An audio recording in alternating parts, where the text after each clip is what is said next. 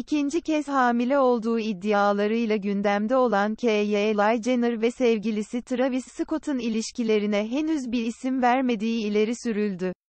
Adını açıklamayan bir kaynak, Jenner ve Scott hakkında, çarpıcı açıklamalar yaptı. Ekim 2019'da ilişkilerini noktaladıklarını duyuran Kylie Jenner ve Travis Scott, yaklaşık iki yıllık aranın ardından barışmıştı. Geçtiğimiz Haziran ayında, kızları Stormy ile birlikte bir bağış gecesine katılan çift, ilişkilerine yeniden şans verdiklerini duyurmuştu. İsmini vermek istemeyen bir kaynak yakında ikinci bebeklerini karşılamaya hazırlandıkları iddia edilen Jenner ve Scott hakkında USVQ'ye konuştu.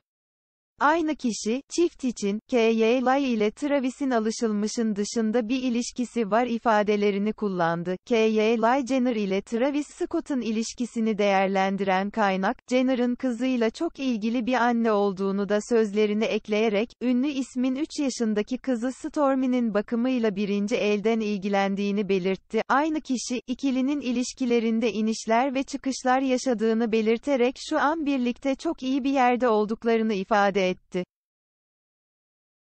Söz konusu kişi, Jenner ile Scott'ın açık ilişki yaşadığına dair iddialara da değindi. Kaynak, ilişkilerine bir isim vermiyorlar.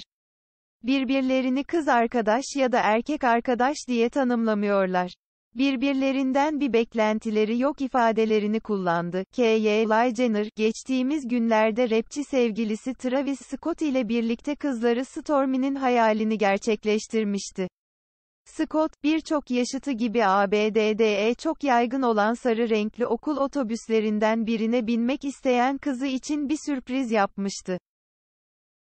Ünlü rapçi, yaşadıkları malikanenin önüne bir okul taşıtı getirmişti. Stormy'nin sevincine kayıtsız kalmayan 24 yaşındaki Jenner, paylaşımında, Stormy'nin söyleyip durduğu şey, bir büyük sarı okul otobüsüne binmekti.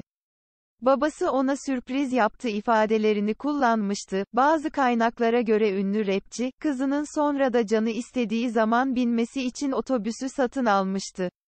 Ancak bazıları da Scott'un sarı renkli otobüsü sadece kiraladığını ifade etmişti.